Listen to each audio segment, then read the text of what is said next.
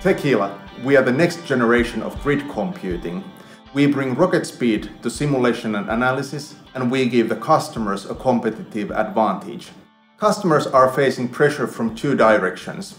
The IT leaders need to cut down data center costs, and at the same time, the business users need to provide more accurate numbers faster than ever before. Customers choose Techila because we are a user-friendly solution that has the security and cloud enablement.